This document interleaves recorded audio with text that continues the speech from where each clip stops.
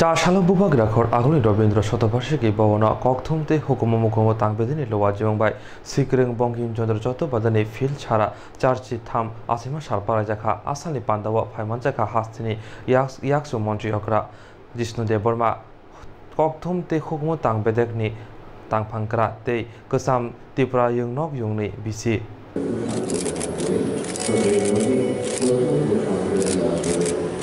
আজকে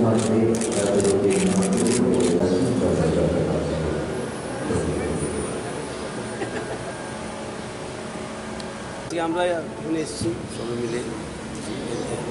আইসিএ secretary, chairman, আইসিএ এবং আমাদের প্রাক্তন ভাইস চ্যান্সেলর, ডাইরেক্টর আইসিএ সাহিত্য সম্রাট বঙ্গীকরণ চট্টোপাধ্যায় জন্মদিন পালন জন্মবার্ষিকী আজকে।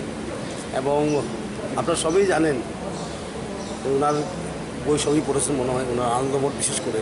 এমন লোক নেই হয়তো বেঙ্গলে বা অন্যখানেও যারা এই আনন্দবোধ করা করেনি কারণ সেটা খুব প্রেরণাদায়ক একটা নভেল ওনার দ্বারা লিখিত।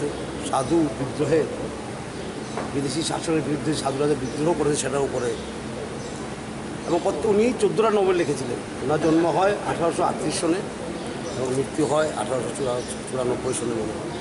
এবং উনি চোদ্দোটা নভেল লিখেছেন। সেই নভেলগুলো মোটামুটি সব ওর নাম বলা যাবে না এখন। দেবী চৌধুরানী আনন্দমঠ বিশ্ববৃক্ষ দুর্গেশ নন্দিনী এবং অনেকগুলি নভেলগুলি সিনেমায়তে পরিণত হয়েছে। ফিল্মও হয়েছে দেব দেবী চৌধুরানী, আমরা দেখেছিলাম যুবক সময় সেটা হিট ফিল্ম হয়েছিল আনন্দমঠেরও ফিল্ম আছে। ওনার যে ভাষার উপরে কন্ট্রোল আয়ত্ত এবং যে বিষয় নিয়ে উনি লিখতেন, সেটা কীভাবে প্রস্তুতি করে তুলতেন, সেটা খুব রেয়ার সাহিত্যে খুব ওনার লেখাটা আজকেও বহুদিন আগে লিখেছেন উনি নভেলগুলো। আজকেও কিন্তু সেটা রেলিভেন্স বা প্রাসঙ্গিকতা এখনও আছে আজকের সমাজেও আর বিশেষ করে গানটা শুনেছেন আপনার আমাদের ন্যাশনাল সং বন্দে মাতরম মাকে, দেশকে মা রূপে দেখা, উনি প্রথম করেছিলেন। সেটাই বিখ্যাত হয়েছে। এবং ন্যাশনাল সং হয়ে গেছে। কারণ স্বাধীনতা সংগ্রামের কোনো আমাদের ন্যাশনাল অ্যান্থেম ছিল না। স্বাধীনতার কোনো জনগণমন হয়েছে। এই বন্দে মাতরম। এই গানটাই কিন্তু লক্ষ লক্ষ লোককে প্রেরণা দিয়েছে স্বাধীনতা সংগ্রামে এবং সেটা নিয়ে আন্দোলন করা হয়েছে স্বরাজের স্বাধীন ভারতের আন্দোলন। যদি আমরা বলি কি গান, সেটা হলো বন্দে মাতরম, সাহিত্য সম্রাট রবীন্দ্র চট্টোপাধ্যায়ের লেখা। সুতরাং আমরা আজকে ছোটো আকারে এসেছি, কারণ কোভিড চলছে, আপনারা জানেন।